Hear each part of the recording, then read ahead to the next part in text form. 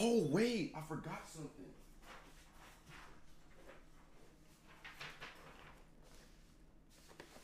I want y'all to read this loud and clear for me.